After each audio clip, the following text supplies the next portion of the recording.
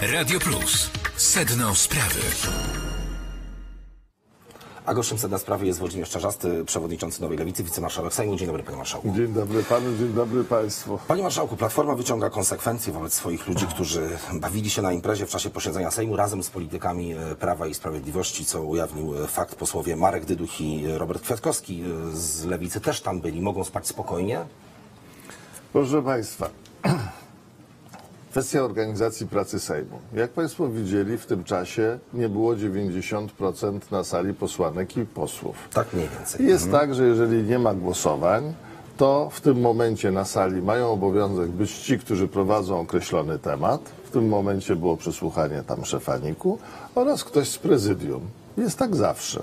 Pozostałe osoby w zależności od pory dnia albo są na komisjach, albo są na spotkaniach. To była wieczorna poradnia, więc komisji nie było. Albo, dobra, albo są na spotkaniach klubów, albo na spotkaniach prezydium klubu, no bo się posłowie No to tam było wyjazdowe spotkanie zjeżdżają, zjeżdżają do Warszawy wtedy. W związku z tym nie jest to nic nowego, że na sali jest w takim momencie tyle osób. Czy się to komuś podoba, czy nie, notabene od To nie jest od zawsze- chlubnym szczególnie zwyczajem ale ja swoją tego- drogą, ja ale, te- ja ale tego- to prawda, że, że tak to pana, wygląda ja tego nie chwalę, ale chciałem panu powiedzieć, że jeżeli to się dzieje w ciągu dnia, to wtedy się Komisje odbywają komisje. No i, i, Były pomysły, żeby- jak żeby to rozłożyć, ale wracając, i panie i przewodniczący, panie marszałku, z- do- do związku Marka z- i W związku z tym pozostałe osoby, które nie mają obowiązku, robią różne rzeczy, są w różnych miejscach, tak?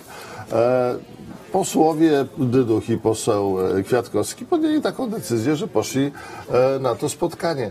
Proszę pana, to jest nic naprawdę nowego w organizacji Sejmu i trzeba mieć do tego dystans. Ale ja rozumiem, ta że pan- fraternizacja też jest rozumiem- problemem, no tak, że opozycja mówi o Prawie pana, i Sprawiedliwości, ale- że no, praworządność, ale konstytucja, pan- ja mam- autorytarne rządy ale ja wyprowadzają nas z ja Unii Europejskiej, ja mam- no, ja a przy kieliszku można Ale sobie ja mam do pana prośbę, niech pan nie operuje jednym słowem opozycja, bo opozycja jest różna. Mhm, to prawda, ale i politycy lewicy takie- jest, jest, te wszystkie jest hasła PSL, jest Lewica, jest Platforma.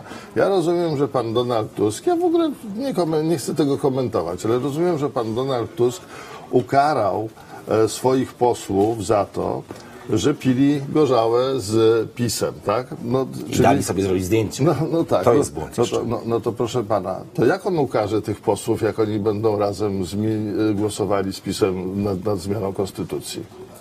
Głowy im utnie?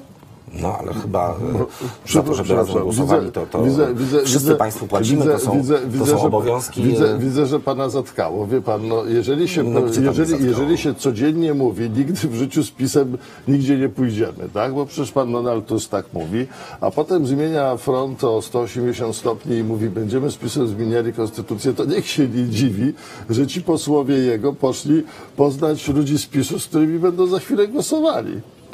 Tak to tłumaczy Włodzimierz Czarzasty, ja panie przewodniczący, tłumaczę, teraz... tylko mam do tego dystans.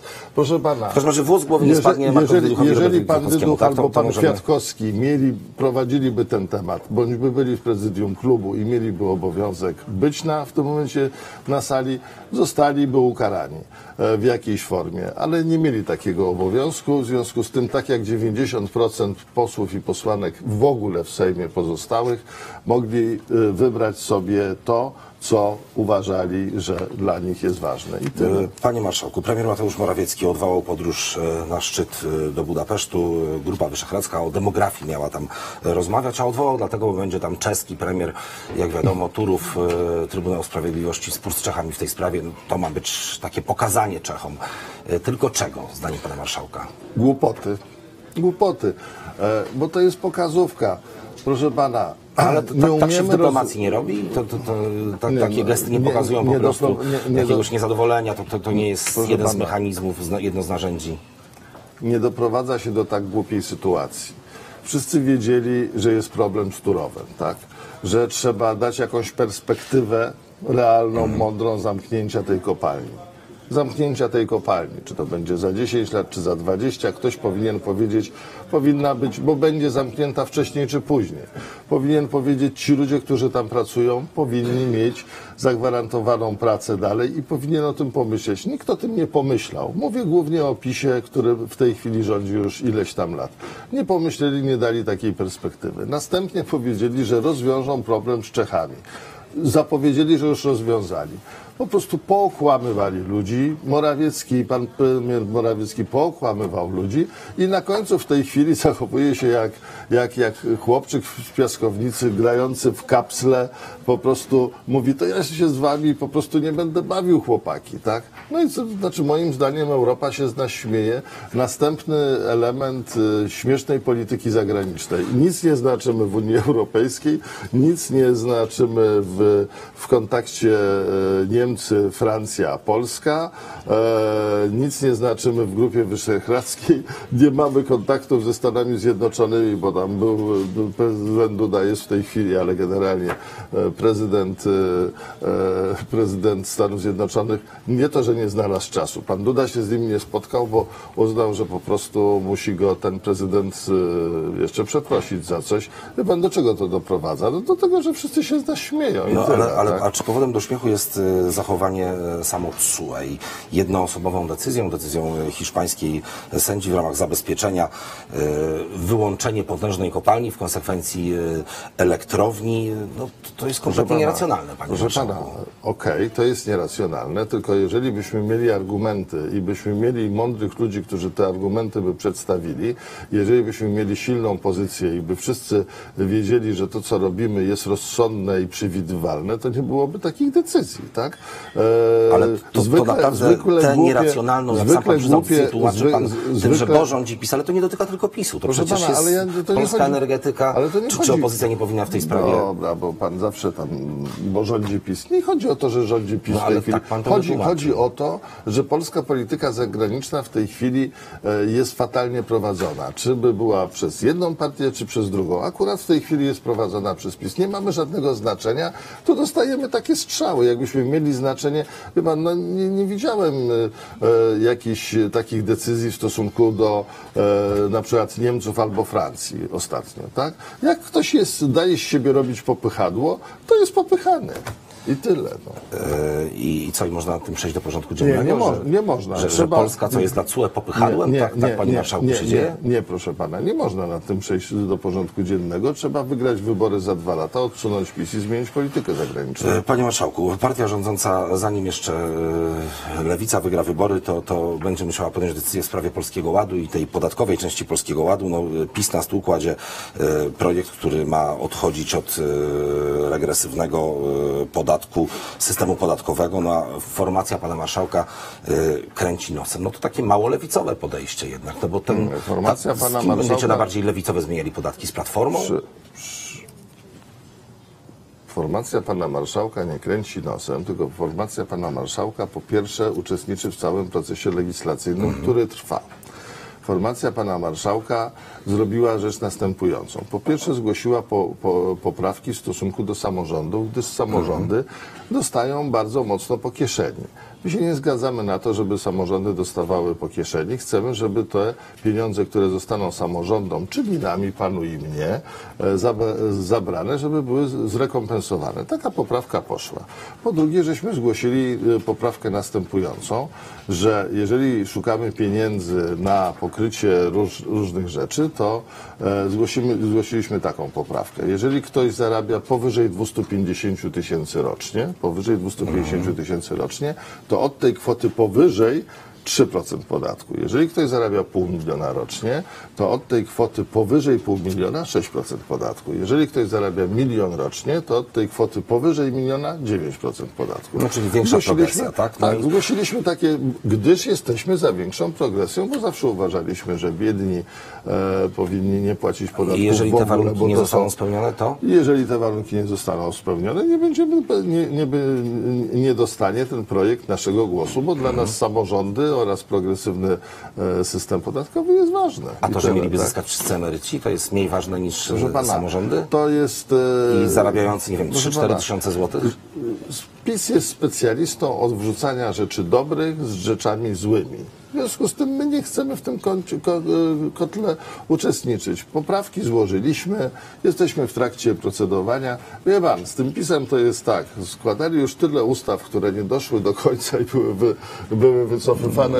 Poczekajmy dwa tygodnie. Tutaj raczej na, na, na wycofanie to chyba e, nie ma co liczyć. Za dużo zainwestowano w ten e, polski ład. A ile zainwestowano w piątkę, piątkę dla zwierząt? A ile zainwestowano w TVN? Media bez przerwy i pana, e, pana, pana również środowisko bez przerwy o tym pisało. I co z tego? To o wewnętrznych sprawach lewicy trochę jeszcze porozmawiamy, panie marszałku, bo przed lewicą kongres, e, wybory. Wielki kongres. Rękawice chce rzucić 1400 osób. wielki kongres. E, W takim razie rękawice chce rzucić Włodzimierzowi Czerzastemu e, Andrzej Rozenek, ale jak rozumiem, e, nie będzie przyjęty do frakcji SLD i nie będzie mógł startować w Nie, wyborach. ale Andrzej Rodzenek y, lubi mnie i rzuci mi rękawice, bo idzie zima i po prostu będzie chciał, żeby mi, ręce, tak? żeby mi ręce nie zmarzły. Pan Andrzej Rodzenek przez sąd partyjny, żeby była jasność, jego działalność została oceniona i w związku z tym y, sąd partyjny nie przyjął go. Ale pan się boi Andrzeja Rozenka? Boi pan się tej rywalizacji? Proszę pana, ale y, ja się nikogo nie boję. Natomiast y, pan Andrzej Rozenek był oceniany ostatnio przez prezydium klubu, e, które się składa z czterech partii oraz był oceniany przez sąd partyjny wewnątrz e, Sojuszu Lewicy Demokratycznej, Nowej Lewicy, tak? E, jeżeli chodzi o sąd partyjny, sąd partyjny uznał, nie, nie przyjął No pana. Rozenka, nie, nie przyjął pana Rozenka do partii. Jeżeli chodzi o klub, klub e, dał panu Rodzenkowi naganę za to, co mówi w mediach i jak, e, e, jak formułuje swoje myśli w mediach. W związku z tym jest to absolutnie zobiektywizowana historia. E, jeżeli chodzi o mnie, ja nie będę już komentował zachowania Pan pana. tam e, ja, za sznurki nie pociągał, jeżeli chodzi o sąd partyjny, nie e, suflował pan takiego jak- właśnie rozwiązania? Ale dlaczego pan obraża ludzi z sądu partyjnego i uważa pan, że sądy są, niezale, są zależne od kogoś? No to nie jest partia polityczna, no to, to, to, to nie jest jednak sądownictwo niezależne, pana, tylko są członkowie partii, którzy mają przewodniczącego. sę- Sędziowie to są ludzie. Ludzie są uczciwi. Niech pan uwierzy, że są ludzie uczciwi i że to one to nie ulegają naciskom. Natomiast chciałem panu e, To już takie powiedzieć, zdanie, panie przewodniczący? powiedzieć, ja nie będę komentował wewnętrznych spraw partii oraz w ogóle spraw pana Andrzeja Rozenka, bo pan Andrzej Rozenek nie jest w partii, której jestem przewodniczącym. A mówił to Włodzimierz Czarzasty, który nikogo się e, nie boi, jak przyznał e, przed chwilą przewodniczący Nowej tak, Lewicy, tak, wicemarszałek Sejmu. Bardzo dziękuję bo- panie marszałku za rozmowę. wielu spraw. Państwu dziękuję za uwagę i dobrego Dziękuję serdecznie. Radio Plus. Sedno sprawy. A teraz już zapraszam Państwa na spotkanie z Kamilą Biedrzycką i jej super raportem.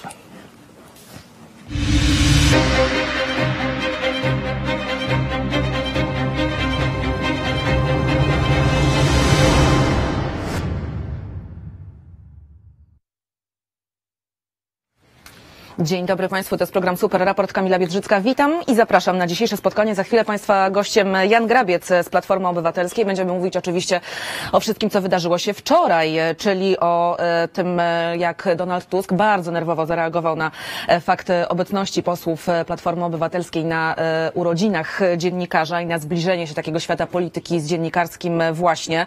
Borys Budka, do niedawna szef Platformy Obywatelskiej, szef klubu parlamentarnego oraz Tomasz Niemoniak, wiceprzewodniczący partii, oddali się do dyspozycji przewodniczącego Donalda Tuska. Właśnie decyzja w sprawie ich partyjnej przyszłości ma zostać podjęta w ciągu najbliższych dni e, na e, którymś z, którymś z posiedzeń e, klubu albo zarządu e, partii. E, To jest e, rzecz pewna, ale oczywiście będziemy dopytywać Jana Grabca e, dziś e, o szczegóły tej sprawy. Sławomir Neumann, to nazwisko także się e, pojawia. On prawdopodobnie nie trafi na e, listy wyborcze e, do parlamentu i w wyborach wewnętrznych, e, partyjnych, które już niedługo nas e, czekają.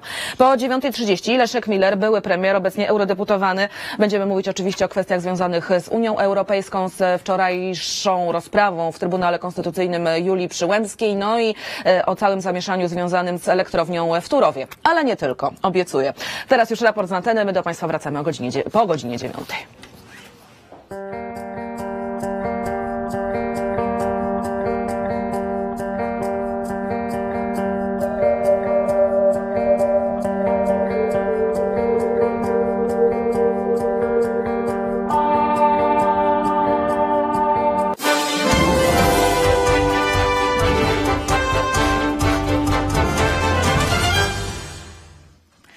Strażacy walczą z dużym pożarem pod Siedlcami. Pali się hala z tworzywami sztucznymi i kartonami. W Budapeszcie bez Mateusza Morawieckiego. Polski premier zamraża stosunki z Czechami. I nie pojawi się na dzisiejszym szczycie. Kły morsa arktycznego w jednej z przesyłek w Pruszczu Gdańskim. Ich wartość to prawie 5 tysięcy złotych.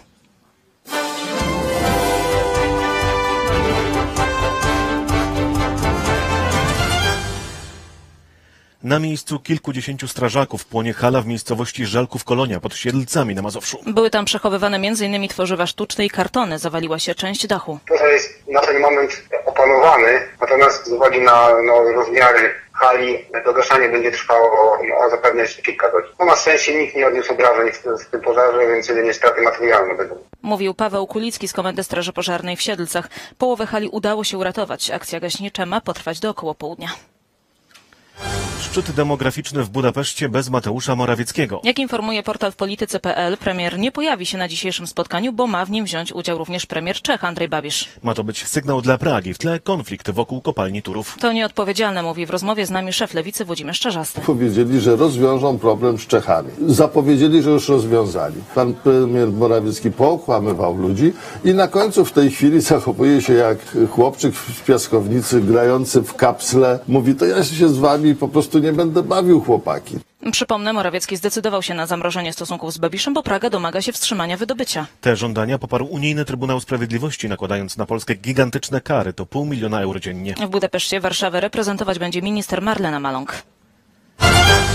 Jest już komunikat odnośnie trzeciej dawki szczepionki przeciw COVID-19. Jak podaje Ministerstwo Zdrowia, będzie podawana osobom zaszczepionym w celu poprawy, utrwalenia i przedłużenia ochrony. Osoby, które ukończyły 50 lat, automatycznie dostaną skierowanie, jeżeli minęło już pół roku od drugiej dawki szczepionki. Wówczas taka osoba w, w IKP będzie miała już wygenerowane skierowanie na szczepienie. Mówi Joanna Branicka, rzecznik lubuskiego NFZ-u. Rejestracja na szczepienie zgodnie z zapowiedziami rządu ruszy jutro, zarówno poprzez infolinię, SMS, stronę internetową czy w pobliskim punkcie szczepień. Wybrali imprezę zamiast Sejmu, teraz o ich losie zdecyduje szef PO. Wiceprzewodniczący partii Borys Budka i Tomasz Siemoniak oddali się do dyspozycji Donalda Tuska. Okazało się, że obaj politycy brali udział w urodzinach znanego dziennikarza podczas posiedzenia Sejmu. Podczas posiedzenia nasi posłowie nie byli na sali obrad, ale na zupełnie innym spotkaniu. To jest e, nie do pogodzenia ze standardami Platformy, zwłaszcza jeśli chodzi o osoby pełniące wysokie funkcje przewodniczącego klubu, wiceszefa partii, szefa regionu. W związku z tym dziś odbyła się w tej sprawie rozmowa. Mówił rzecznik Platformy Jan Grabiec. O przyszłości polityków Donald Tusk ma poinformować na jednym z najbliższych posiedzeń za- zarządu partii. Na koniec nietypowe odkrycie w trakcie kontroli w Pruszczu W Gdańskim. jednej z przesyłek pocztowych w sortowni znaleziono 11 kłów morsa arktycznego. Ich wartość szacuje się na blisko 5 tysięcy złotych. To była standardowa przesyłka w kopercie. Nadana była z kierunku wschodniego. Przesyłkę zatrzymano ze względu na możliwość naruszenia przepisów o ochronie środowiska oraz naruszenia konwencji dotyczącej gatunków chronionych. Mówi Barbara Szalińska z Izby Administracji Skarbowej w Gdańsku. Mors arktyczny to gatunek zagrożony wyginięciem. Handel kłami jest zabroniony. Potencjalnemu właścicielowi przesyłki grozi nawet do 5 lat więzienia.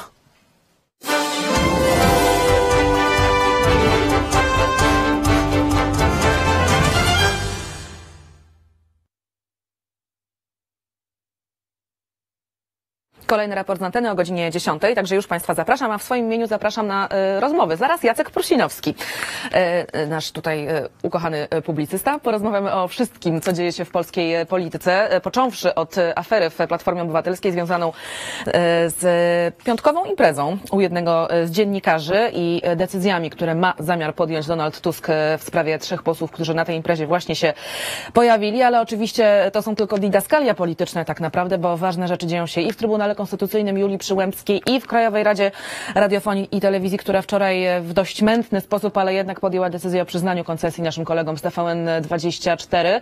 No i rzecz jasna e, kwestia Turowa też na tapet będzie przez nas wzięta, bo sytuacja robi się coraz bardziej napięta. Nic nie wskazuje na to, żeby nastąpiło jakiekolwiek porozumienie na linii polski rząd, rząd czeski.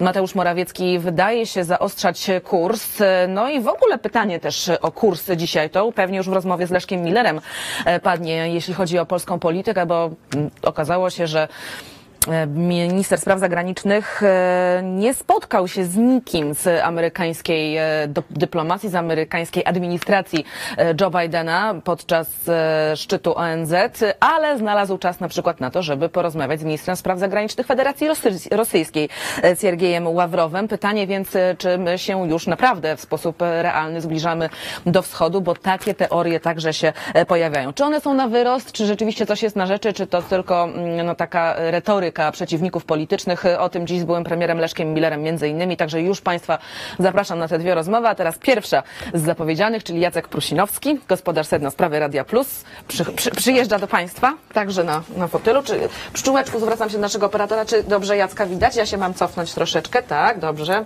tak pokazuję, czyli jest wszystko ok. Gra. Jak oceniasz reakcję Donalda Tuska na to, co się wydarzyło w piątek, czyli na to, że trzech posłów zdecydowało się wziąć e, udział w imprezie urodzinowej jednego z dziennikarzy?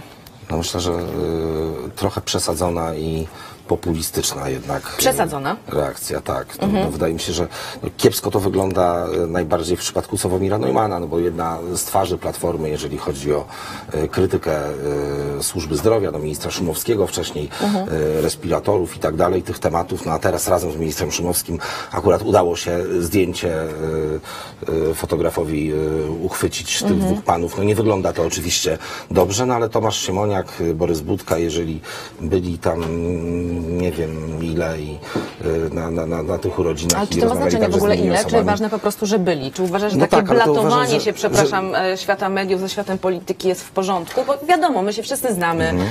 e, żeby zdobywać różne informacje, e, wychodzi się nawet na tę kawę, Ale ale, była jednak taka impreza jest od taka lat, cienka bal granica. dziennikarzy, prawda? Od jakiegoś No, czasu ale chyba bal dziennikarzy jest oficjalną, charytatywną imprezą. To jest No tak, zupełnie ale- co innego ale, niż y, pięćdziesiątka czy dziennikarzy, na której się są tam politycy. nie miało miejsca, picie wspólne, tańce i tak dalej, no Czyli to co? wszystko miało miejsce, więc y, nie, nie uważam, że to jest jakaś zupełnie nowa jakość. y, Ale to była impreza że- ogólna, charytatywna, a nie prywatna, nie urodziny. Nie widzisz tutaj tej różnicy? Nie no, znaczy, Ty no byś na przykład zaprosił to- polityków nie, na nie, swoje nie urodziny? zaprosiłem polityków na swoje no urodziny. ja też nie, nie. nie, nie do końca y, to rozumiem. Bardziej bym rozumiał, gdyby to było, nie wiem, jeszcze 3, 4, 5 osób, którzy są Mhm. faktycznie bliskimi znajomymi, a taka szeroka grupa, no ale to okej, no to już tam jubilata sprawa, Mhm. z kim lubi się bawić na swoich urodzinach, ale, ale jeżeli chodzi o polityków i y, zostali zaproszeni, przyszli, złożyli życzenia i z kimś tam porozmawiali No dłużej dobrze. czy krócej, to nie widzę w Ale tym z drugiej jakiegoś strony wielkiego problemu. Donald, no, Donald no, w Tusk tym podjął, podjął decyzję strasznego? populistyczną, ale z drugiej strony, że on nie jest konsekwentny, dlatego że w Płońsku powiedział o tym, że przede wszystkim praca, no taki, taki No poszedł i te przekaz błędy, do partii. zwraca uwagę, że, że każda wypowiedź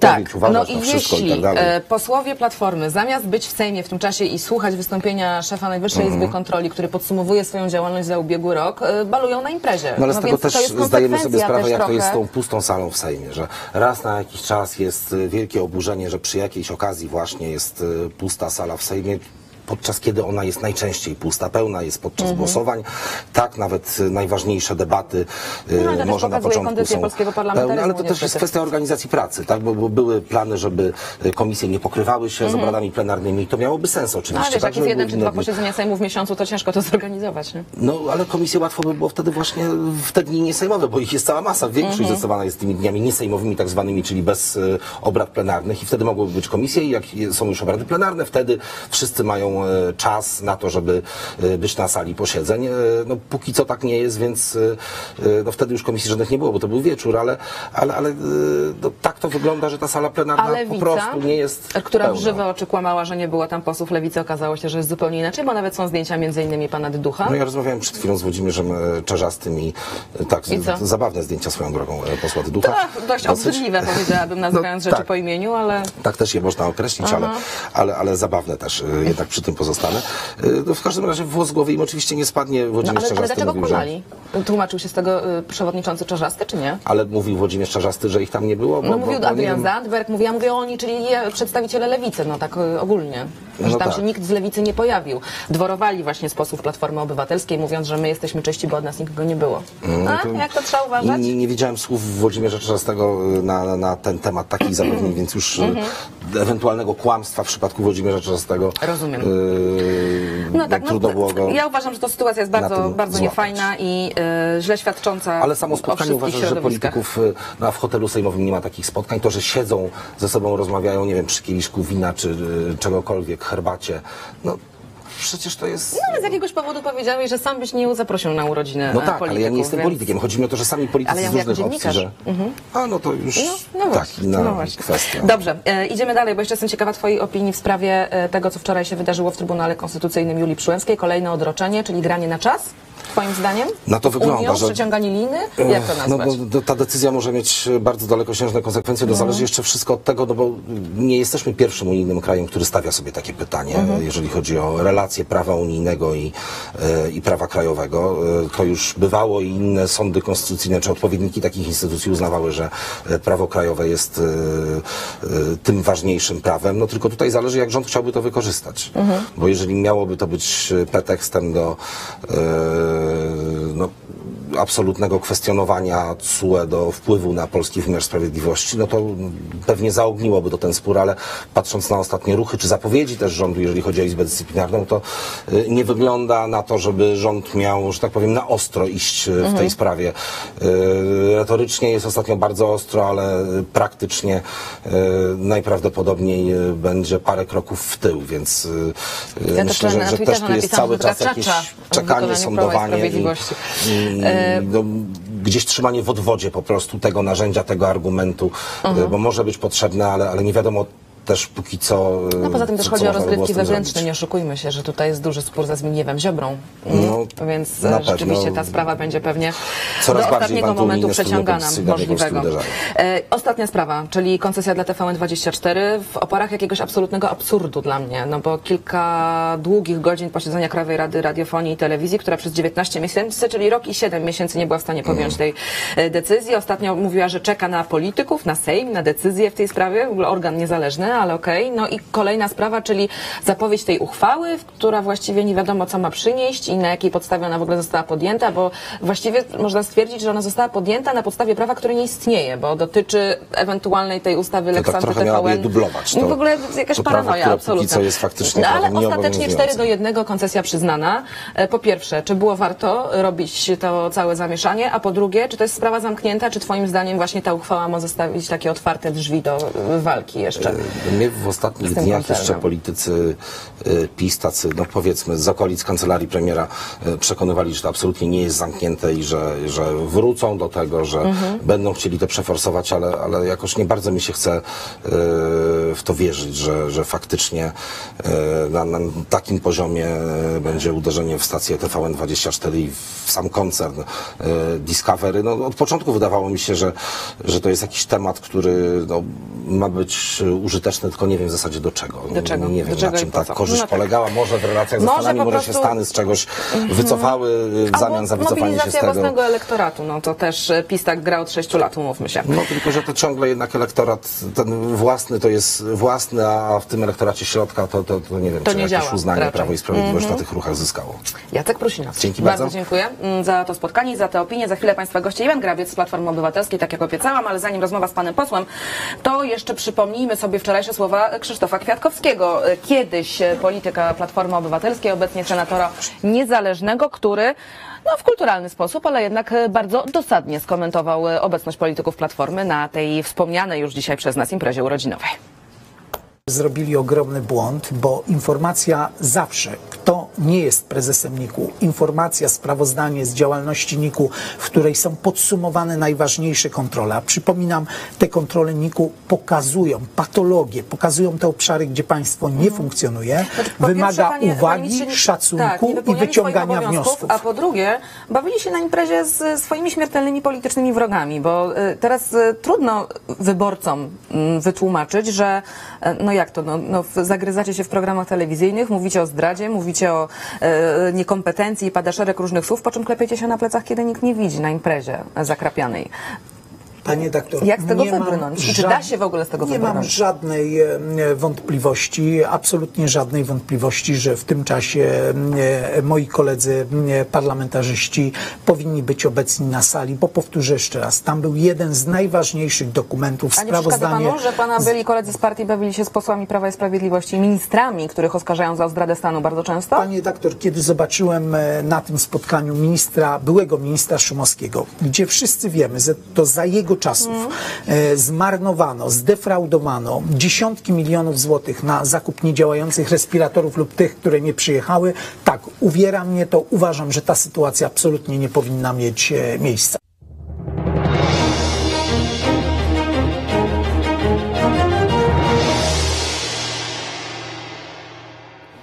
Jan Grabiec, Platforma Obywatelska, rzecznik tej partii. Dzień dobry. Dzień dobry. Niełatwe zadanie dzisiaj ma pan przed sobą.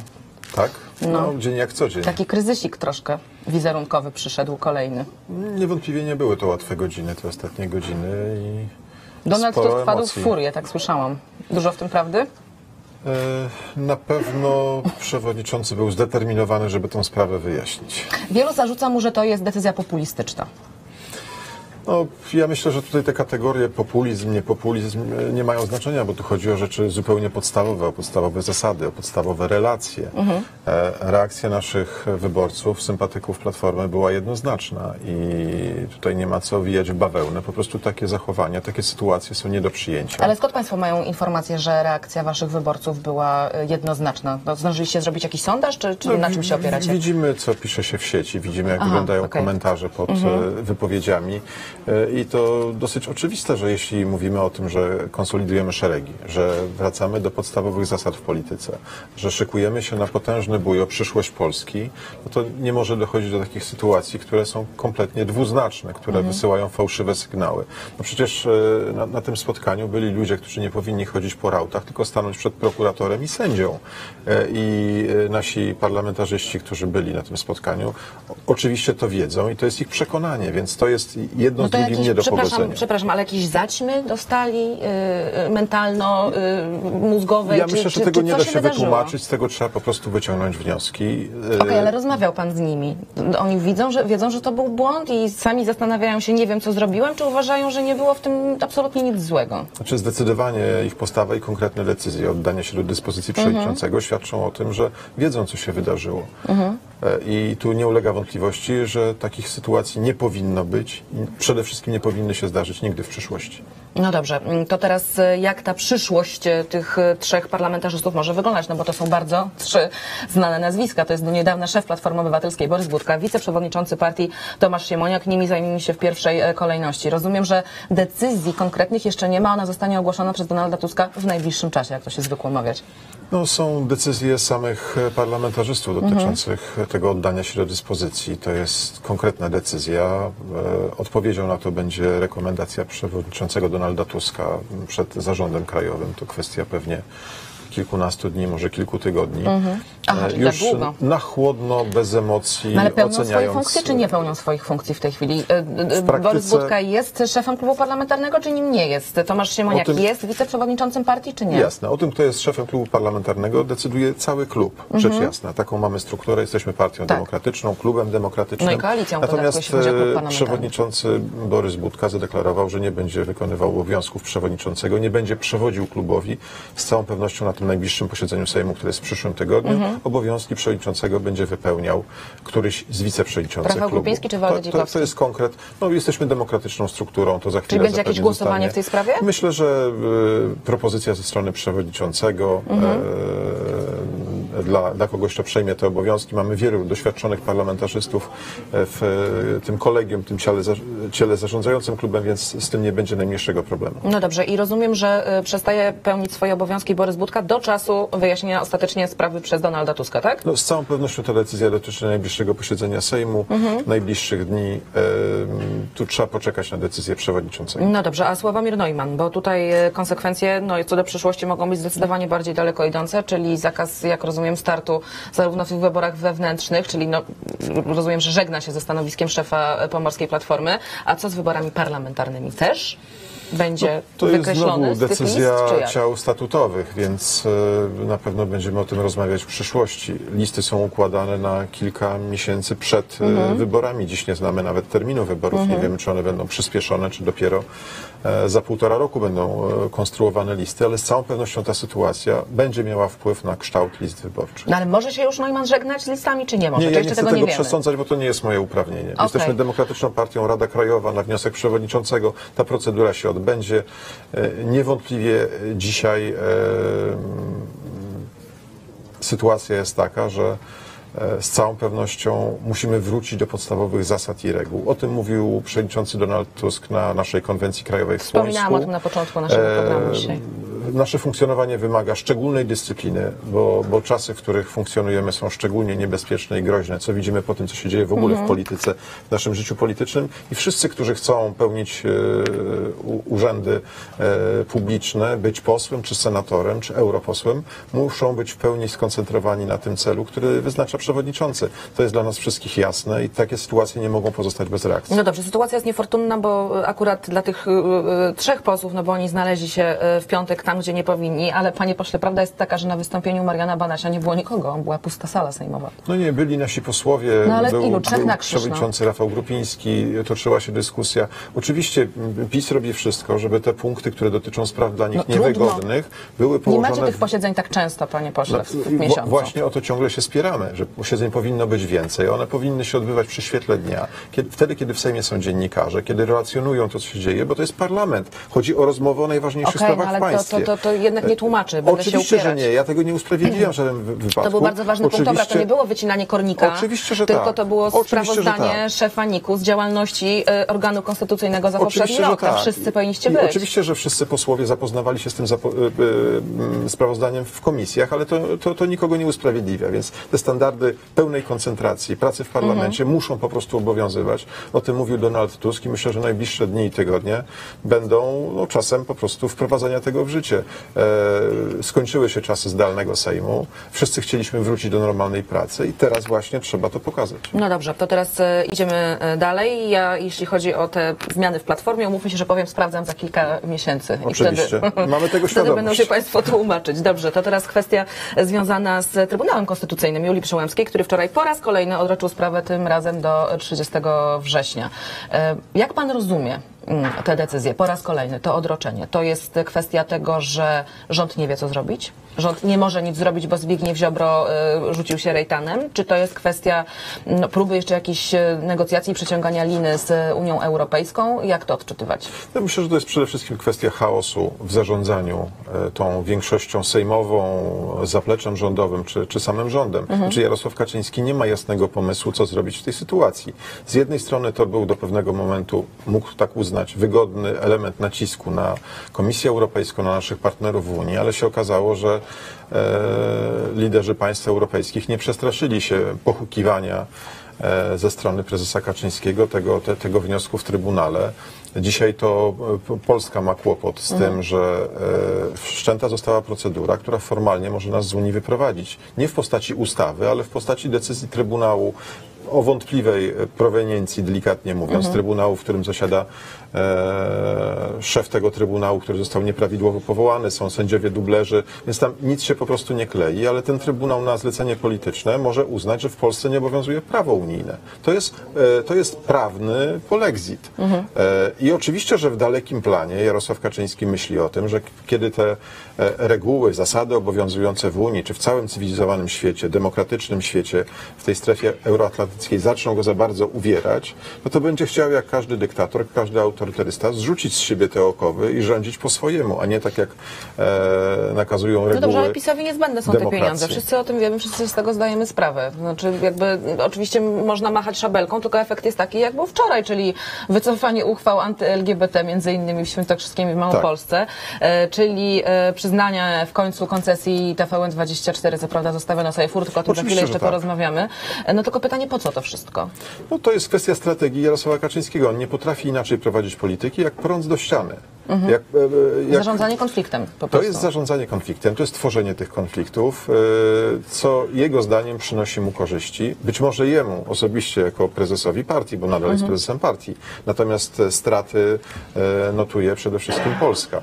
Pozycja Polski międzynarodowa, nasze interesy konkretne, jak w przypadku elektrowni w Turowie, e, konkretne pieniądze, które polscy podatnicy zapłacą za coś, co powinno być już dawno rozstrzygnięte i rozwiązane. Ostatnio kilku moich gości powiedziało e, taką rzecz, że w tej chwili i Jarosław Kaczyński, i Mateusz Morawiecki są zakładnikami Zbigniewa Ziobry, który w przypadku Unii Europejskiej, co do tego chyba, chyba nie mamy wątpliwości, nie odpuści. E, No i teraz właśnie pytanie, jak bardzo będzie tę sprawę rozgrywał, no bo bez jego 18 posłów wiadomo, że koalicja rozpada się w okamgnieniu, rząd mniejszościowy i prawdopodobnie przedterminowe wybory. To jest scenariusz, do którego absolutnie Jarosław Kaczyński dopuścić nie chce. Ale z drugiej strony Zbigniew Ziobro nie chce dopuścić do odpuszczenia tych spraw związanych e, z Unią Europejską. Więc teraz e, pytanie, e, czym to się Pana zdaniem może zakończyć?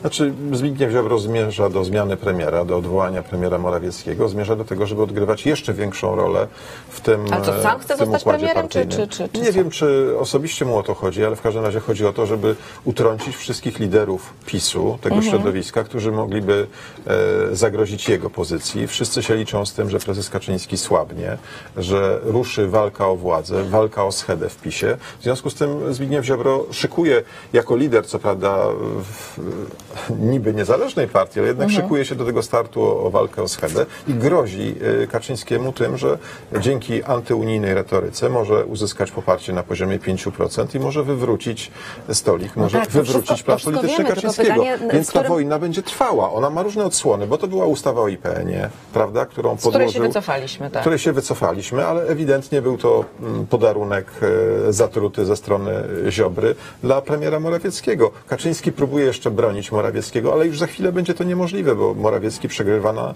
e, wszystkich frontach. Więc te, I jest- rezygnuje z jakiegoś spotkania dyplomatycznego, ponieważ będzie na nim premier Czech. No tak, próbuje grać twardego, ale to jest, oczywi- Ale to oczywiście... jak, jak my chcemy się porozumieć z Czechami Tak. w sprawie Turowa, skoro premier e, odwołuje wizytę, znaczy nie jedzie na wizytę, ponieważ ma tam spotkać premiera Znaczy, Czech? to, to nie jest kwestia widzimy się premiera. Premier powinien wy- wyjaśnić opinii publicznej w Polsce, parlamentarzystom, jakie są zasady naszych relacji zagranicznych. Przecież mówił przez lata, wszyscy pamiętamy, Trójmorze, porozumienie z Grupą Wyszehradzką, z innymi państwami Europy Środkowej dotyczące właśnie strategii energetycznej. Właśnie to, energetyka miała być y, kośćcem tego porozumienia i dzisiaj okazuje się, że nasz naj, najbliższy partner, ten strategiczny partner pod kątem Trójmorza e, jest y, w jakiejś wojnie dyplomatycznej, w sporze dyplomatycznym z nami, że premier postanawia nie rozmawiać. Kiedy problem jest po naszej stronie, to nie Czesi mają problem dzisiaj z Turowem, to my mamy problem i z Czechami, i z całą Unią Europejską. E, I to nie pracujące na w tym Turowie zyskają, osoby, bo ja zauważyłam, że jest, przepraszam, że wchodzę Tak. w słowo, ale to jeszcze jedna rzecz rzeczywiście warto wyjaśnić, bo e, wielu mówi, że Czechom nie zależy na porozumieniu, że oni chcieli tego konfliktu, ale po co mieli go chcieć, skoro kary, które płaci Polska, trafiają do budżetu unijnego, a nie do budżetu czeskiego. Oczywiście, że tak. I pięć jest- lat temu ten konflikt był do zażegnania w kilka tygodni. Później na skutek polityki konkretnych decyzji e, rządu PiSu, bo chodzi przecież o koncesję, o proces Mhm. koncesyjny, Czesi mają jeden bardzo mocny argument, że koncesja została wydana, e, dalsza koncesja, niezgodnie z prawem, niezgodnie z polskim prawem, niezgodnie z unijnym prawem i to jest ten twardy e, punkt, o który się opierają, stawiając konkretne żądania. A, a, a rząd od miesięcy przecież mówiący o tym, że porozumienie jest blisko, nie potrafi go, e, go No dobrze, ale wywalczyć. co No, z kim oni chcą negocjować, jak nie potrafią dogadać się z Czechami? Nie, oczywiście, że nie. Ta kopalnia musi funkcjonować. E, Tego rodzaju decyzje No dotyczące, co która kopalnia jest rozwijana, która jest zamykana, powinny opierać się o strategiczne, długoletnie plany. E, Czesi od początku nie żądali zamknięcia kopalni w Turowie, tylko tego, żeby wpływ tej kopalni na sąsiedztwo, na ludzi mieszkających kilkanaście, kilkadziesiąt kilometrów dalej nie był taki, że tracą e, jakby poczucie bezpieczeństwa, bo warunki środowiskowe się zmieniają. Jak ktoś buduje wysypisko śmieci, to musi je tak zbudować, żeby zabezpieczyć mieszkańców, żeby nie odczuwali żadnego, e, żadnego negatywnego wpływu. To jest zapisane w polskim prawie, to jest zapisane w unijnym prawie. Kopalnia, ogromna odkrywkowa kopalnia wpływa na warunki życia, którzy mieszkają, którzy mieszkają wokół. I trzeba w procesie e, uzyskiwania decyzji po prostu zapisać takie warunki, żeby los tych ludzi był zabezpieczony. Tego nie zrobiono niestety. A ten argument, Pominięto panie Czechów pośle, że, się o to że. Czesi w tej chwili raczej nie będą skłonni, żeby się dogadać, no bo wiemy, tam jest e, kampania parlamentarna i to już na samym finiszu, więc no trudno oczekiwać, że w tej chwili rząd czeski będzie e, bardzo dużo uwagi poświęcał negocjacjom e, z Polską, które to miały już rozpocząć się w grudniu zeszłego roku, o ile się nie mylę, bo wtedy Czesi Mhm. zaczęli już dawać bardzo mocne sygnały, że trzeba by było się spotkać w tej sprawie. No niestety bezskutecznie te sygnały nie No tak, ja odebrane. pamiętam deklarację wicepremiera Sasina czy premiera Morawieckiego, że porozumienie już jest. Tak, że że porozumienie już czerwcu, jest, że wystarczy je tylko dopiąć, że szczegóły zostały Premier za chwilę Sasin będzie jechał miał dobre informacje, wie pan, ale gdybym była Zosia, to bym powiedziała, że jak tak mówił, to znaczy, że jest odwrotnie. Teraz szuka się kozła ofiarnego, mam wrażenie, żeby wskazać kto nie załatwił tej sprawy, to tak naprawdę nikt nie próbuje jej załatwić. Znaczy sytuacja w Czechach polityczna nie będzie stabilna w najbliższych miesiącach, nawet po wyborach, bo wiemy, że wyniki sondaży wskazują na to, że choć e, wygrać może urzędujący premier, to Mhm. jednak nie będzie miał e, możliwości samodzielnych rządów. E, Pozostali liczący się w grze nie deklarują stworzenia wspólnego rządu, więc tam może trwać kilka miesięcy kryzys dotyczący utworzenia nowego rządu i co? I my będziemy płacić codziennie kary, dlatego że Morawiecki nie potrafił wsiąść do samolotu i, i dogadać się z premierem Czech?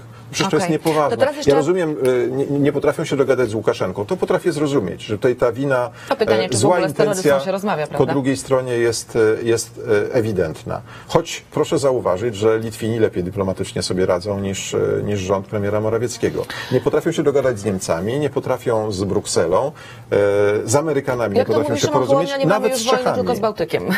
Dobrze, panie pośle, ale teraz właśnie szersze pytanie o kondycję polskiej dyplomacji, o ile ona w ogóle jeszcze funkcjonuje, bo mm, Mhm. mamy taką sytuację, o której pan wspomniał, ale do tego dochodzi jeszcze Pałac Prezydencki. E, Nie było spotkania z Angelą Merkel. E, Pan prezydent się obraził chyba na Tak, rzeczywiście dość tak, niefortunną sprawę załatwienia terminu spotkania przez Niemców, ale umówmy się, no nie ma chyba o co aż tak bardzo kruszyć kopii, bo samo spotkanie jest w tym kontekście zdecydowanie ważniejsze. E, Nie ma spotkania i w ogóle żadnych relacji z administracją prezydenta Joe Bidena, nazywanego przez e, pomyłkowo, chociaż Freud pewnie by coś powiedział na ten temat, e, jako Donald Trump, bo też była Mhm. taka wypowiedź teraz podczas szczytu ONZ. Pan Andrzej Duda mówił o tym, że prezydent Donald Trump. No ale okej, przejęzyczenia zdarzają się nam, nam wszystkim, zdarzać się będą, więc tutaj Zostawmy e, tę sprawę. E, Nie było tego spotkania e, z Trumpem, nie było w ogóle spotkania z administracją amerykańską. Kolejna sprawa. Nie spotkał się także z nikim z amerykańskiej administracji minister spraw zagranicznych Zbigniew Rau, ale spotkał się z mm, szefem dyplomacji Federacji Rosyjskiej, czyli Siergiejem Ławrowem. Po raz pierwszy od dwóch lat taka sytuacja miała miejsce, a pan prezydent, który nie rozmawiał z nikim ze Stanów, robi sobie zdjęcie z prezydentem Turcji Erdoganem. Jak to wszystko interpretować, ten kierunek naszej dyplomacji i polityki zagranicznej, panie pośle? Znaczy, czasy są bardzo niebezpieczne. Wszyscy mamy świadomość, że w relacjach międzynarodowych jest napięcie na, na różnych planach, od tych największych Stany Zjednoczone, Chiny, Rosja, Europa, e, po, po te relacje bilateralne i w, e, ważne są w tym przypadku jasne busole, jasne drogowskazy. Mhm. E, Ja nie wiem, do czego zmierza polska dyplomacja. Nie wiem, jaka jest polityka prezydenta, jaka jest polityka premiera, a przecież śledzę te decyzje, postępowania, jestem na komisjach, słucham tego, co mówią rządzący politycy. Tam nie ma żadnego jasnego kierunku. Nie wiadomo, z kim chcemy zacieśniać relacje, czy Amerykanie są naszym strategicznym partnerem dzisiaj, czy nie. Skoro prezydent nie potrafi się spotkać z partnerami po tamtej stronie, nie ma nawet kontaktów dyplomatycznych na odpowiednim szczeblu, czyli nie ma już strategicznego sojuszu z A propos Amerykanami. Czech nie mamy ambasadora od ponad roku. To jest Dokładnie, kolejny kamyczek no, do ogródka. w, w, słyszymy często w debatach e, w, w studiu ze strony polityków PiSu, pomóżcie, wy powinniście jako opozycja pomagać rządowi. Jak mamy pomóc? Wysłać ambasadora do Czech? My z Platformy Obywatelskiej? Rząd nie potrafi tego zrobić? No to są wszystko kardynalne błędy, jest wrażenie kompletnego chaosu e, i pogłębia się też ryzyko dotyczące polskiego bezpieczeństwa. Jesteśmy w takim, a nie innym punkcie w Europie. Pomiędzy Niemcami a Rosją, na styku różnych e, ambicji politycznych. Wydawało się, że w NATO i w Unii Europejskiej jesteśmy bezpieczni, bo jesteśmy po stronie tego bogatego, stabilnego, przewidywalnego Zachodu. Dzisiaj nikt nie ma takiej pewności w Unii Europejskiej, czy, Polska, czy polski rząd naprawdę chce, żebyśmy byli w Unii. Raczej rosną, e, rośnie przekonanie, Chce pan że, powiedzieć, że rząd PiS chwilę- zmierza na wschód, tak? że zdecydowanie zmierza na wschód w taką strefę kompletnie nijaką.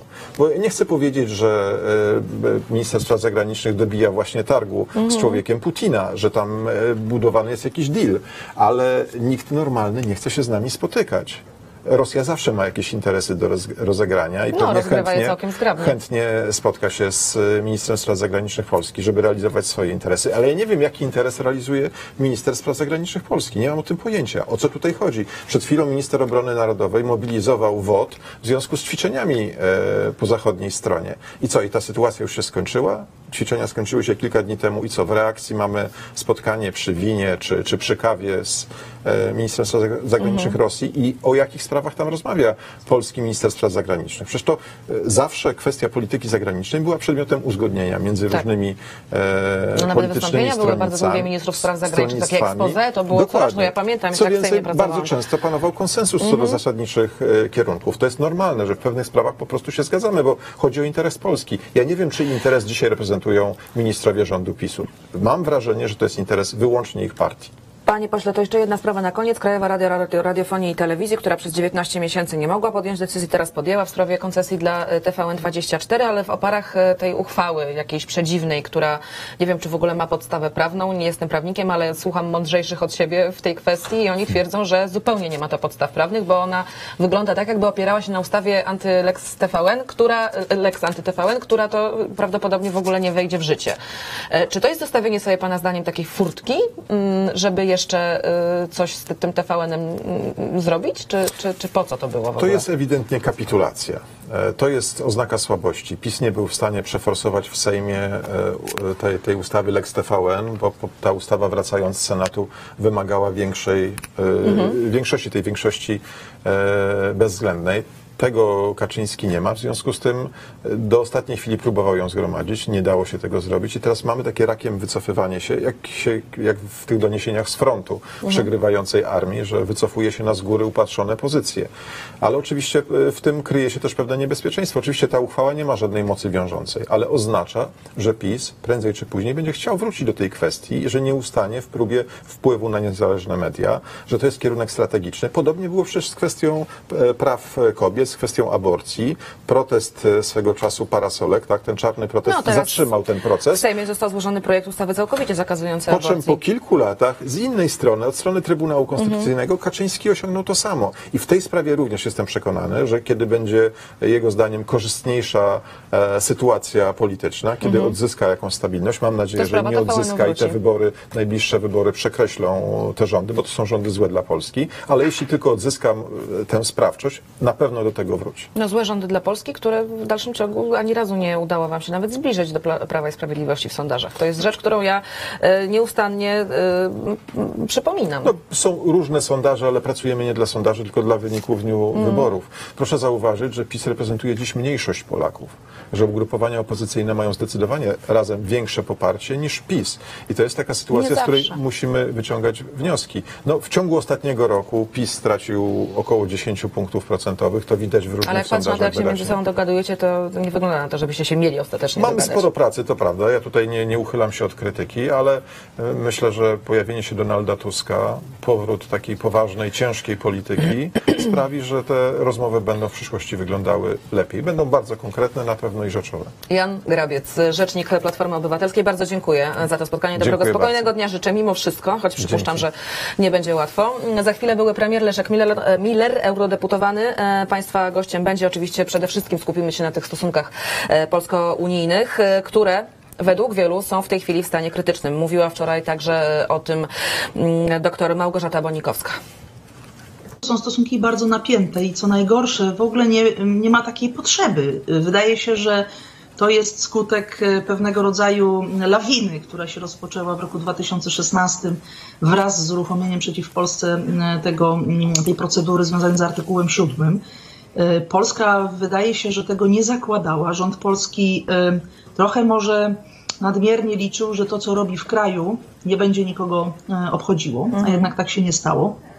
A wszystko, co później się stało, to wydaje się, że jest konsekwencja tej właśnie lawiny i dzisiaj dobrnęliśmy do jakiegoś y, momentu, w którym no, trudno powiedzieć, y, jak to się zakończy, ale wydaje się, że polskie społeczeństwo nie popiera tego kursu. To jest pozytywna w tym mm, myśl. Polacy pomimo wszystkich tych y, lat y, Prawa i Sprawiedliwości i retoryki dość mocno, powiedzmy sobie szczerze, antyeuropejskiej, na pewno antyunijnej i też antyniemieckiej, Dostało się też po drodze w tych latach Francji, Czechom, e, naszym sąsiadom nawet z najbliższego otoczenia Polski, może z wyjątkiem Węgrów i może z wyjątkiem e, Pribałtyki. Grając w Unii Europejskiej wśród 27 krajów mamy dzisiaj złe relacje z, we wszystkimi w zasadzie krajami sąsiedzkimi. Może najlepiej z Litwą, tu, tu udało się, ale z Czechami jako sąsiadami fatalne, z Niemcami sąsiadami bardzo niedobre. Y, Mamy też niedobre relacje z Francją, która jest również ważnym krajem w Unii Europejskiej i w zasadzie nie mamy jakichś bardzo bliskich relacji z innymi partnerami unijnymi.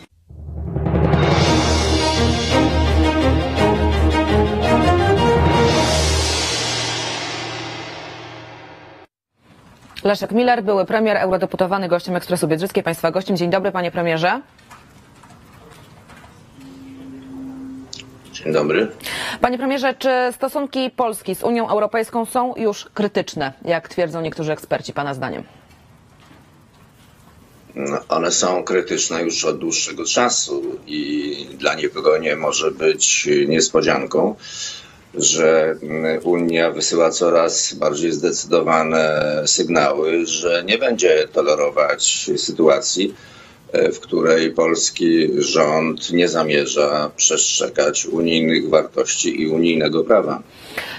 Ale wszystko wskazuje na to, panie premierze, że e, rząd Prawa i Sprawiedliwości w tej sprawie nie odpuszcza na razie zupełnie, bo co prawda, faktycznie mieliśmy wczoraj sytuację, z której część samorządów wycofała się z tak zwanych uchwał anty-LGBT. Mieliśmy sytuację z przyznaniem koncesji, ale to akurat nie ma związku z Unią Europejską, ale mieliśmy też kolejne odroczenie terminu rozprawy w tej w Trybunale Konstytucyjnym Julii Przyłębskiej o mm, uznaniu wyższości prawa krajowego nad unijnym. Mamy kolejne odroczenie, tym razem na 30 września.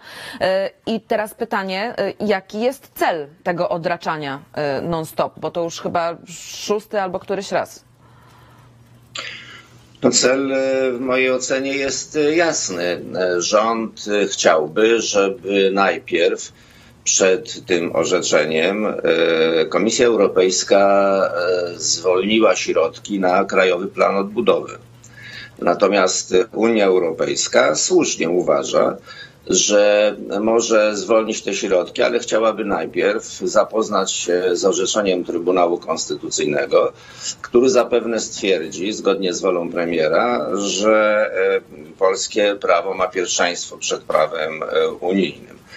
Więc y, tu jest takie wzajemne szachowanie, przy czym Unia Europejska ma, ma mocniejsze karty bo jesienią y, premier Morawiecki będzie musiał udać się do Sejmu z ustawami, które będą wprowadzały w życie y, jego polski ład. No i w tych ustawach musi napisać, czy te pieniądze z Unii Europejskiej nadejdą, czy nie nadejdą. Mhm. A Pana zdaniem nadejdą, jeżeli kwestia Izby Dyscyplinarnej i kwestia, no właśnie, tego wniosku w Trybunale Konstytucyjnym nie zostanie wyjaśniona? Na jakim etapie Pana zdaniem podejmowania decyzji wobec Polski jest Unia Europejska?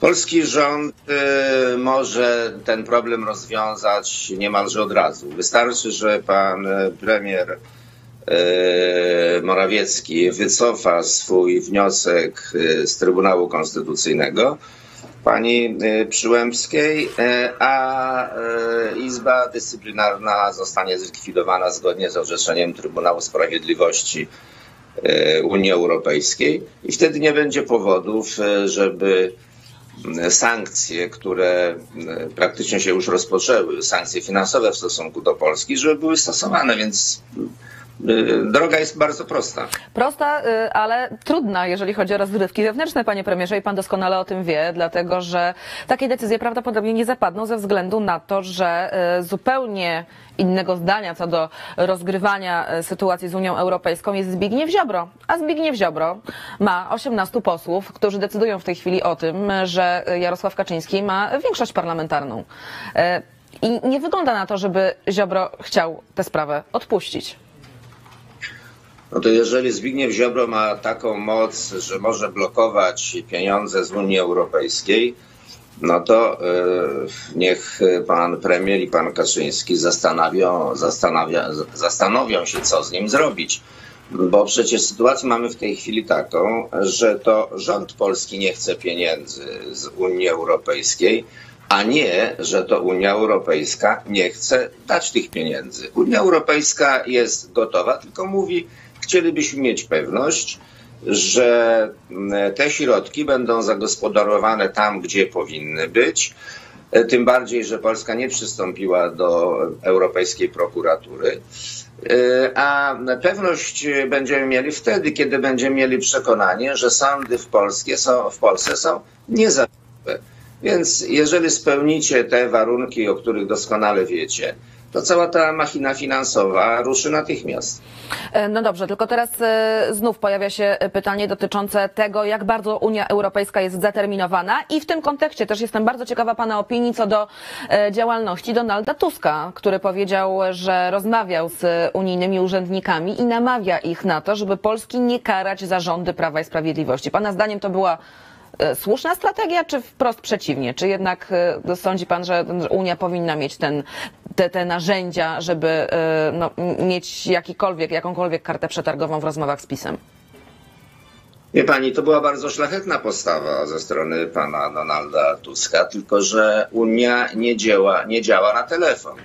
To znaczy, jedna rozmowa, nawet tak e, znakomitego polityka, jakim jest Donald Tusk, e, ona nie może e, zmieniać sytuacji prawnej, którą kieruje się Unia Europejska. A e, Unia e, Europejska, e, zachowując rezerwę w stosunku do e, Polski, czy też e, wstrzymując proces przekazywania pieniędzy, no działa na podstawie prawa.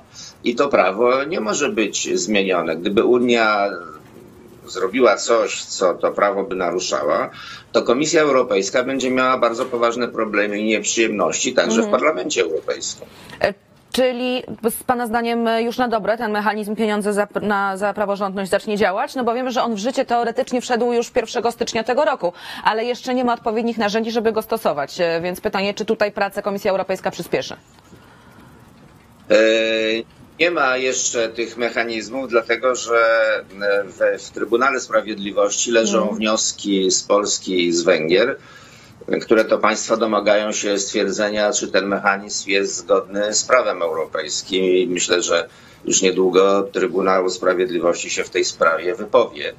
Ale oprócz tego mechanizmu Unia ma też inne możliwości. Natomiast czy Unia wytrwa w tym e, postanowieniu, żeby za każdą i za wszelką cenę e, bronić e, wartości unijnych i kryterium prawa unijnego? No, wszystko na to wskazuje, ale oczywiście ja nie mogę powiedzieć pani nic ostatecznego, no bo ja nie wiem dokładnie, jakie tam procesy zachodzą. Na pewno w części Komisji Europejskiej są e, komisarze, którzy mają już dosyć tej sprawy i chcieliby to jakoś kompromisowo e, ro- rozwiązać. Może są zmęczeni całą tą sytuacją. Nie wiem, to się w ciągu najbliższych tygodni rozstrzygnie. A czy w ciągu najbliższych tygodni rozstrzygnie się Pana zdaniem, czy rzeczywiście już e, całkiem realnym staje się scenariusz budowania, a właściwie nawet już nie budowania, bo to się powoli buduje, to się już dzieje, Europy dwóch prędkości? Czy my rzeczywiście zostaniemy na marginesie Unii Europejskiej? No, Unia e, od dawna jest e, poddana takim mechanizmom e, dwóch prędkości. Niech pani zwróci uwagę, że przecież część krajów unijnych jest w strefie euro, a część krajów unijnych nie jest w strefie euro. To samo dotyczy strefy Schengen, ale tą strefę euro na pierwszym miejscu tutaj, tutaj oczywiście stawiam. Natomiast jest coraz e, e, bardziej widoczny taki nurt myślenia. On jest także widoczny w Parlamencie Europejskim. E, Nurt myślenia ze strony tych starych krajów Unii Europejskiej. No bo jak my wchodziliśmy w 2004 roku, to Unia mm, liczyła 15 tylko kraje, 15 krajów. Że być może to przyjęcie tych krajów z Europy Środkowo-Wschodniej było Było przedwczesne, że trzeba było poczekać, że jednak okazuje się, że te kraje inaczej rozumieją e, demokrację, solidarność e, unijną, że są z nimi bez przerwy jakieś e, kłopoty. Więc ja nie mogę wykluczyć, że właśnie ta pierwsza prędkość i to będą te kraje, które stanowią rdzeń Unii Europejskiej, plus na przykład państwa bałtyckie, bo one mają bardzo dobrą opinię mm, e, w Unii Europejskiej. No a Polska, Węgry, e, może ktoś jeszcze, to będzie ta druga grupa, tacy outsiderzy, którzy gdzieś tam się błąkają po peryferiach Unii Europejskiej. Panie premierze, pan negocjował traktaty, za pana rządów Polska do Unii Europejskiej e, weszła, mm, więc przypuszczam, że szczególny sentyment w ogóle do tego okresu pan ma. E, My zawsze byliśmy uważani za społeczeństwo bardzo euroentuzjastyczne, najbardziej w ogóle wśród krajów Unii Europejskiej. W tej chwili jeszcze to ma miejsce, bo według ostatnich sondaży 80 51% Polaków chce być i zostać w Unii, ale to bardzo szybko także może się zmienić. I teraz no, moje pytanie dotyczące propagandy tej antyunijnej. Coraz częściej ja sama widzę w internecie chociażby komentarzy o tym, że Unia to zło, o tym, że Unia jest nam do niczego niepotrzebna, o tym, że na członkostwie w Unii tracimy, że odbiera nam suwerenność, że tracimy własne wartości, etc. Nie obawia się pan, że no, taka wlewana do głowy, no właśnie ta antyunijna propaganda w końcu przyniesie owoce? E, Zaraz odpowiem, ale jeśli pani przypomniała to, co mojemu sercu jest szczególnie miłe, e, oczywiście w- wejście Polski do Unii Europejskiej też, to dzisiaj chciałem przypomnieć, że mija dokładnie 20 lat e, od wielkiego zwycięstwa koalicji SLD Unii Pracy w wyborach parlamentarnych. Dostaliśmy wtedy 41% głosów, zdobyliśmy 216 mandatów i 75% mandatów e, w Senacie. A gdyby obowiązywał system liczenia głosów Donta, tak jak dzisiaj, to mielibyśmy 245 głosów i samodzielną większość. Więc, e, więc ta rocznica tych 20 lat, która właśnie dzisiaj dokładnie mija, pozwoli pani, że ją przypomnę. Natomiast jeśli chodzi o to takie judzenie przeciwko Unii, tak, ma pani całkowitą rację, ja też to widzę i mm, to jest przecież świadoma e, polityka propagandowa, która ma zohydzić Unię Europejską, bo myślę, że dla pana Kaczyńskiego i jego otoczenia to jest bardzo bolesne, jak oni czytają kolejne sondaże i tam ciągle jest 80%, 75% poparcia dla Unii Europejskiej. Więc oni cały czas myślą, co tu zrobić, żeby zmniejszyć ten e, odsetek. I to, co robi telewizja publiczna, to, co robią rozmaite trole wynajęte, buszujące po internecie, to jest taka próba, żeby pokazać Polakom, słuchajcie, nie ma się czym zachwycać. Polska na tym traci, tak jak ostatnie rewelacje pana Jakiego. E, Na dobrą sprawę to powinniśmy wyjść. Po co mamy tutaj się użerać z tą Brukselą i z tą biurokracją? To jest takie jątrzenie, które ma na celu doprowadzić do obniżenia poziomu aprobaty dla Unii Europejskiej, bo wtedy Kaczyńskiemu będzie łatwiej wyjść z Unii Europejskiej. Tylko dlaczego Kaczyński miałby chcieć wychodzić z Unii Europejskiej? Nie pytam już o kwestię tego, że nikt wtedy nie będzie kontrolował jego władzy, ale wiemy, że sprawowanie władzy bez pieniędzy jest bardzo trudne. A na przykład słynny e, Nowy Ład, e, Polski Ład e, jest w dużej części finansowany z funduszy unijnych, które w tej chwili są zagrożone. No więc gdzie tu jest logika? Ale pani słusznie odpowiedziała, że tutaj chodzi o niekontrolo- niekontrolowaną władzę, bo dzisiaj to, tym jedynym ograniczeniem, tą jedyną kotwicą, e, która e, trzyma jeszcze Polskę w, obrębie d- cywilizacji demokratycznej, to jest Unia Europejska. Gdyby jej nie było, to Kaczyński mógłby już zrobić dokładnie wszystko, nie oglądając się na nic. I to strasznie go uwiera. A pieniądze? No ja niedawno s- słyszałem e, kilku, kilka wypowiedzi polityków PiSu, którzy mówią, jak nie dostaniemy z Unii, to sobie załatwimy pożyczki na międzynarodowych e, rynkach finansowych. No przecież jak się zwrócimy do Chin, to przecież Chińczycy nam bardzo chętnie udzielą takiej pożyczki. Jak się zwrócimy do Rosjan, to Rosjanie też bardzo chętnie. Więc tam są takie pomysły, że no, w końcu mm, Polska jest tak potężnym krajem, y, że każdy, każda struktura finansowa na dobrych warunkach udzieli jakichś wielomiliardowych pożyczek, co jest oczywiście mniemaniem błędnym, dlatego że o ile Unia Europejska może na rynkach finansowych y, zawierać bardzo korzystne y, pożyczki, no to może dlatego, że jest mocarstwem gospodarczym, a Polska nie jest. No dobrze, to teraz e, skoro pan e, dworuje, tak sobie trochę mówiąc, że Polska jest tak wielkim i potężnym krajem, no to teraz e, pytanie zupełnie serio o polską dyplomację i polską politykę zagraniczną. Pan ją w ogóle widzi? Widzi pan jakieś kierunki polskiej polityki zagranicznej? Umie pan je nazwać? Wie pan, w którym kierunku zmierzamy? Bo pytam e, nie tylko o rząd i o e, permanentny konflikt z Unią Europejską, z Czechami, e, w tej chwili z Niemcami, e, ale pytam także o to, co robi prezydent Andrzej Duda, który także no, ma zdecydowanie mniejszy wpływ na kształtowanie polityki zagranicznej, ale jednak no, ma jakąś funkcję reprezentacyjną. Nie spotkał się z Joe Bidenem. Nie spotkał się z Angelą Merkel, zrobił sobie zdjęcie i wrzucił do mediów społecznościowych z przywódcą Turcji. E, więc pytanie, dokąd to wszystko zmierza Pana zdaniem? A, i jeszcze, Proszę Pani, i Polska nie ma przepraszam, Panie polityki premierze, przepraszam, zagranicznej, jeszcze, nie ma jeszcze, dyplomacji. Gdyby Polska miała dyplomację, Mhm. to by nie dopuściła do takiej historii, jak zatarg z Czechami o e, kopalnię i elektrownię e, Turów. To jest wszystko robione na łapu capu. E, Cała ta tak zwana polityka zagraniczna jest funkcją sytuacji wewnętrznej. To, co się opłaca PiSowi na użytek wewnętrzny, no to znajduje jakiś odprysk w polityce zagranicznej. Ale to jest polityka bez polityki, bez strategii, bez przemyślenia żadnego, e, tak e, od, od wydarzenia do wydarzenia, a ta krzątanina e, pana prezydenta to już jest w ogóle jedna wielka komedia. Nie mówiąc już o tym, że pan prezydent wyraźnie wykracza poza swoje kompetencje, dlatego że w konstytucji i w ustawach jest wyraźnie napisane, że politykę zagraniczną prowadzi Rada Ministrów, a nie prezydent. Tymczasem niech pani zwróci uwagę, że Rada Ministrów jest bierna, nie wypełnia swoich konstytucyjnych powinności. Natomiast e, prezydent się po prostu wygłupia e, na e, kolejnych niepotrzebnych wyjazdach. No dobrze, to teraz jeszcze słów kilka o innym spotkaniu. Pytanie, w jakim kontekście je rozpatrywać? Bo tak jak wspomnieliśmy, nie mamy kontaktów z administracją amerykańską, ale po dwóch latach minister spraw zagranicznych Zbigniew Rau spotkał się z szefem dyplomacji Federacji Rosyjskiej Siergiejem Ławrowem. Jak to interpretować pana zdaniem? Bo mówię, no, z Zachodem stosunki nie najlepsze, ze Wschodem, jak widać, coraz lepsze. Znaczy ja akurat uważam, że politycy na tym szczeblu powinni ze sobą rozmawiać i to, że Polska nie ma e, kontaktów na odpowiednim szczeblu z Federacją Rosyjską, to nie jest powód e, do chwały, tylko powód do zmartwienia. Inne kraje, Niemcy, Francuzi, Włosi, e, zabiegają o te kontakty. E, Więc y, oczywiście nie wiem, co oznacza to krótkie spotkanie dwóch ministrów spraw e, zagranicznych, czy za tym pójdą jakieś inne działania, czy nie.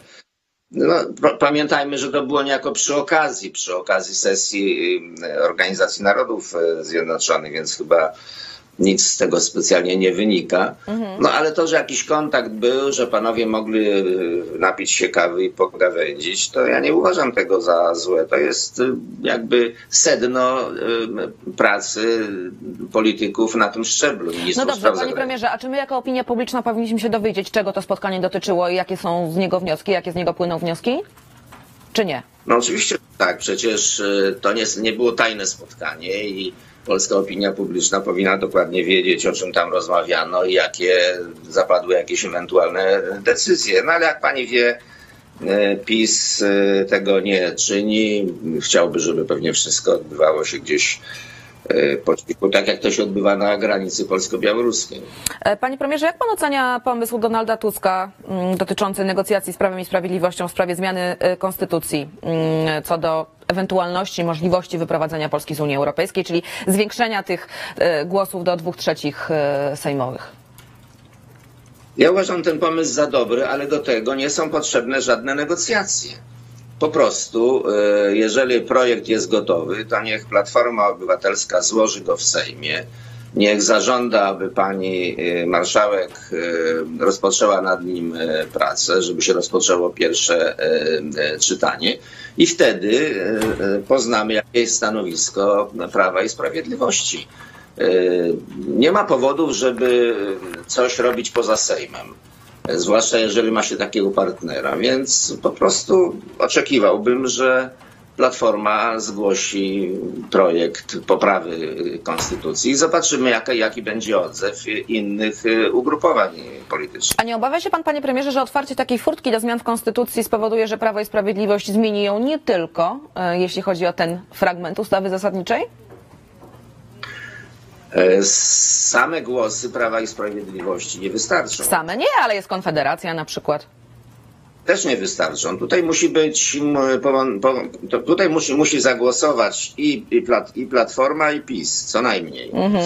Więc y, no nie ma takiego niebezpieczeństwa, zagrożenia. że PiS chciałby gdzieś pożeglować y, w jakieś inne kierunki, bo im po prostu nie starczy głosów. Natomiast powtarzam, ja jestem przekonany, że z takim e, e, rywalem czy przeciwnikiem jak PiS e, nie wolno prowadzić żadnych negocjacji, tylko trzeba po prostu rozmawiać z nimi w Sejmie według regulaminu Sejmu, według procedur sejmowych.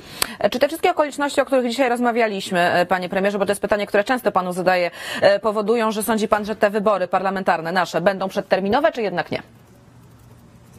Nie, ja cały czas powiadam pani, że, Że że według mnie wybory będą się, odbędą się w konstytucyjnym e, terminie, terminie dlatego że ja nie widzę e, żadnego kryzysu, który e, aż byłby tak głęboki, żeby Mhm. prowadził Kaczyńskiego do przekonania, że trzeba skrócić kadencję Sejmu, tym bardziej, że on kiedyś skrócił, jak pani wie, I wiemy, jak to poniósł straszliwe konsekwencje. Nie, uważam, że wybory odbędą się w normalnym terminie. Panie premierze, bardzo dziękuję za to spotkanie. Leszek Miller, państwa gościem, gościem Ekspresu Biedrzyckiej. Dobrego, spokojnego dnia, dużo zdrowia życzę. Do zobaczenia. Bardzo Dzięki. dziękuję, do widzenia.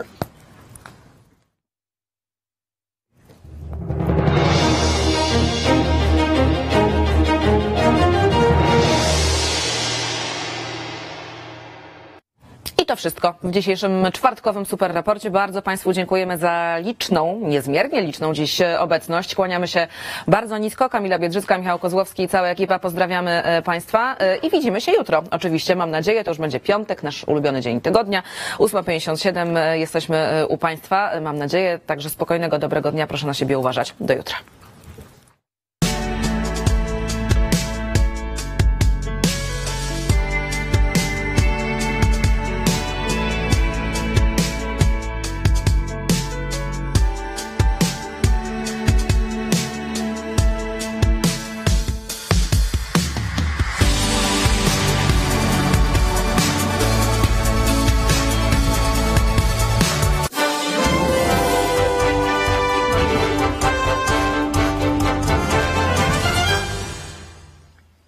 Skupiamy się na rozwiązaniu konfliktu wokół Turowa, przekonuje rzecznik rządu. Mateusz Morawiecki nie pojawi się na dzisiejszym szczycie w Budapeszcie. Wichury, silny wiatr, a nawet sztorm. IMGW ostrzega przed zawirowaniami w pogodzie. Don Pedro, słynny szpieg z krainy deszczowców, ma swój pomnik. Stanął w Bielsku Białej i to nie bez powodu właśnie tam.